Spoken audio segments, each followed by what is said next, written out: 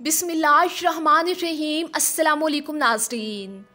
नाजरीन, आप जानते हैं कि नून लीग की कायद नवाज़ शरीफ तकरीबन साढ़े चार साल बाद वतन वापस लौटे हैं। पाकिस्तानी अवाम का कहना था कि पाकिस्तान को सबसे ज़्यादा जिसने लूट कर खाया है, वो नवाज़ शरीफ है। पाकिस्तान का सबसे बड़ा चोर नवाज़ शरीफ है, जो कि आप तकरीबन साढ़े चार साल बाद मुल्क वापस आ रहा है। और ये पाकिस्तानी अवाम नवाज़ शरीफ का इस्तकबाल जूतों से करेगी चोर चोर के नारों से करेगी और अब ऐसा ही किया जा रहा है। इस वक्त नवाज़ शरीफ के पोस्टर के साथ एक बुज़ुर्ग की वीडियो वायरल है। नवाज़ शरीफ का पोस्टर देखने के बाद बुज़ुर्ग शख्स ने नवाज़ शरीफ के पोस्टर के साथ क्या हरकत की, ये वीडियो आप देख लीजिए। अगर आप इमरान खान के सपोर्टर हैं तो वीडियो को लाइक करने के साथ हमारे चैनल को लाजमी सब्सक्राइब कीजिएगा।